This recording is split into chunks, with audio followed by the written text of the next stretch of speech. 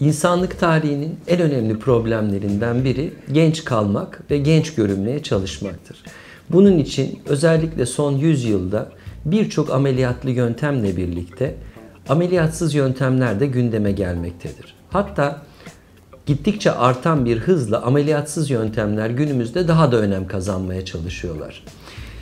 Kullandığımız, en sık kullandığımız yöntemlerden biri botoks adını verdiğimiz bir yöntemdir.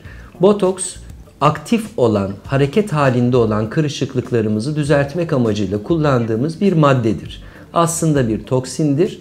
Biz onları kasları felç etmek amacıyla kullanarak o bölgedeki kas hareketini durduruyoruz. Diğer bir yöntem dolgu yöntemidir.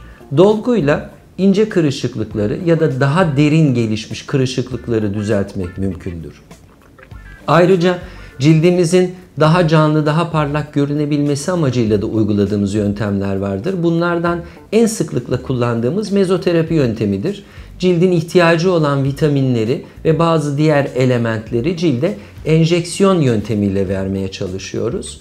PRP de yine son yıllarda kullandığımız bir yöntemdir. Burada da hastalarımızın kendi kanlarından aldığımız bir materyali özel işlemlere tabi tutarak tekrar cilde enjekte ediyoruz.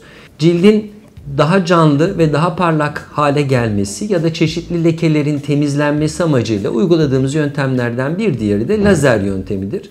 Lazerle ciltte bulunan bütün lekeleri temizlemek, damarsal izleri yok etmek ya da ciltte bulunan daha eskiye ait olan izleri temizlemek mümkündür.